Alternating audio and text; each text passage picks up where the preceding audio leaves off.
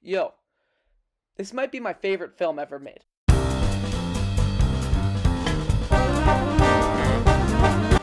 There are multitudes of different layers to this film and different interpretations that could be made while still remaining simplistic enough to understand non-analytically. That being said, the entirety of the film can be further understood by others, as today I wanted to talk mainly about its bombastically cinematic ending. Throughout this intro I have been very careful so as to make sure that I do not use any footage in the film. The reasoning behind this is because I think a film should be an entirely blind experience beforehand. Thus, I am giving a spoiler warning throughout the remainder of this video. I would highly advise that you do not watch this video if you haven't experienced this film, as it's a cinematic benchmark, in my personal opinion. Okay, so let's start with the context behind the ending. Our main character, Andrew Neiman, is a student at the most prestigious art school in the United States. He aspires for a title with the greats like Charlie Parker or Buddy Rich. Neiman is dedicated, but is not willing to let drumming take over his life. He still has relationships and connections that separate him from drumming. Eventually, a music teacher by the name of Terrence Fletcher comes into the picture and selects Neiman as one of the drummers in his jazz band. Excuse me if I don't know the lingo. Terrence Fletcher is soon revealed to be exceedingly manipulative, as well as using pushing students to their limits as an excuse for the rampant bullying found in his classroom. Fletcher uses constant manipulation tactics against Neiman, like accepting another much worse drummer into the band. As Neiman's obsession begins to grow, he begins to lose the friends and family that he relied on beforehand to stop him from going towards the dark side. It is also told to the audience that one of Fletcher's former students had passed away in a car accident. Eventually, incidents ensue that get Neiman kicked out of the band due to his own migration from normalcy, and soon afterwards, it is revealed that the aforementioned deceased student hung himself in an attempt to release the PTSD from Fletcher's teachings. Neiman decides that in order to prevent circumstances like such from happening again, it would be the best course of action to press charges against Fletcher. This gets Fletcher fired from the music school, and he begins to start playing gigs at a local jazz bars. Eventually, Neiman recognizes Fletcher and engages in conversation with him, which leads into Fletcher inviting him to a session as they were lacking a drummer. However, this is all a foil for Fletcher to betray Neiman, as Neiman did so long ago. Fletcher gives him the wrong music, and so Neiman makes a mockery of himself on stage. This leads Neiman to co uh, coming back on that stage and proving himself as one of the greatest drummers of all time, and showcasing how far he will go in a quote-unquote triumphant ending.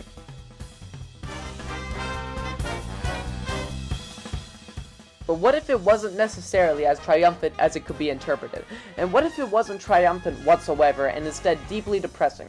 The film is very well made and I think the director as well as the screenwriter, Damien Chazelle, was pointing towards a very cinematic ending which forced the filmmaker to make this seem like a much more happy ending, essentially lying to us, the viewers.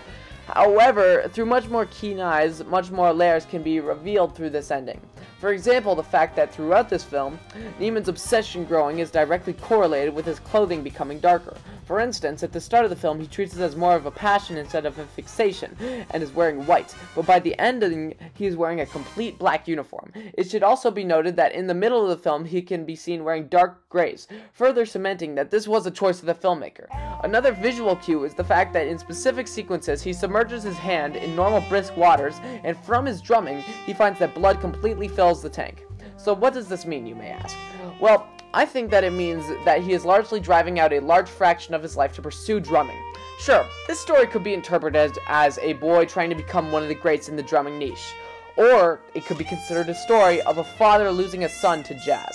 Some consider the final look that the father gives at the end of the film a happy remark at the fact that he finally understands the extent that Neiman is willing to go to pursue his dreams. That's a totally fair analysis, but I prefer to view it as a look of pure shock and horror as he loses his son to a disturbing and dangerous obsession.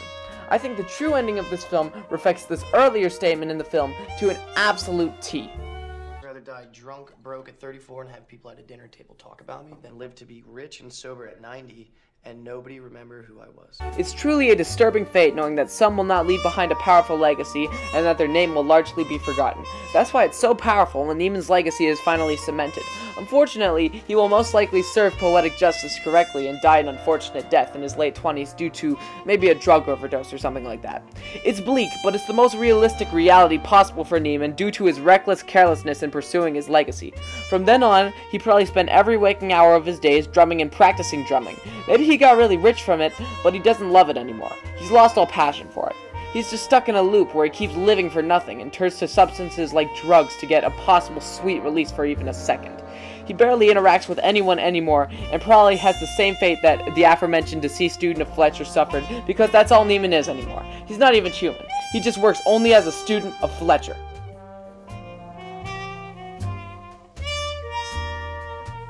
In conclusion, the ending presented is most definitely the subject of interpretation, but there are multiple scenarios in which this quote unquote victorious ending could be considered extremely depressing.